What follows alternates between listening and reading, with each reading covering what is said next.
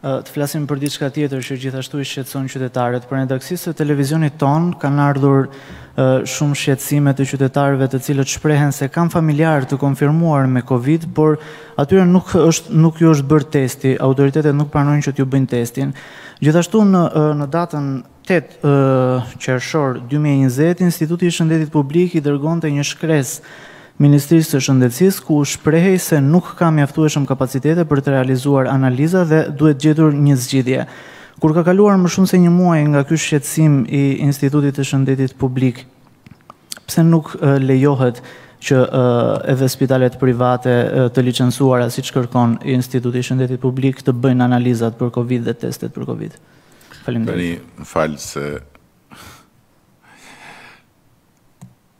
Si mund të thuhet familjar të konfirmuar që nuk ju bëjnë testin?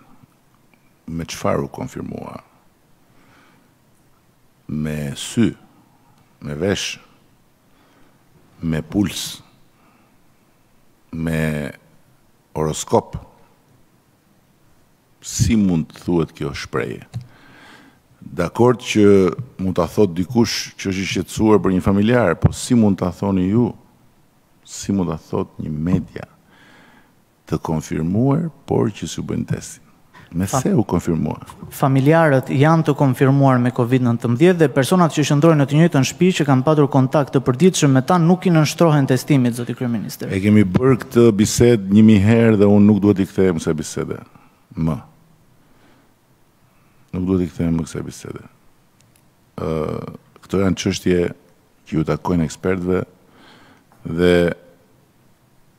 boll kam folur unë për këtë temë. Ajo që unë them sot është vetëm kaq. Një mbyllje tjetër e Shqipërisë është diçka me përmasa jashtëzakonisht kritike për të gjithë. Një kontroll i rregullave në hapje me polici dhe me ushtri për çdo qytetar është i pamundur. Rritja e numrave ndodh absolutisht në të gjitha vendet që hapen dhe është çdo qytetar që duhet të marrë përgjegjësinë e vet.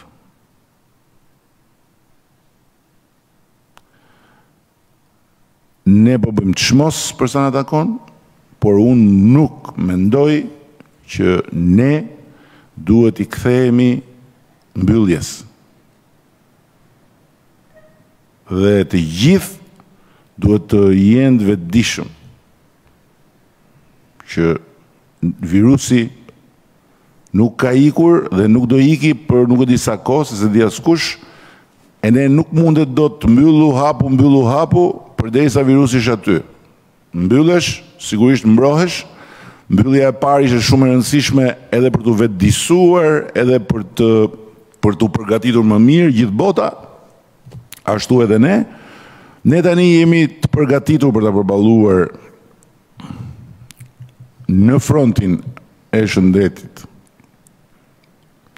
këtë rritje numrash, por nëse duam të ruajmë këtë trend dhe duam të minimizojmë pasojat, atëherë çdokush duhet të marrë përgjegjësinë e vet. Çdokush. Kaq. Të tjerat pastaj janë janë llafe.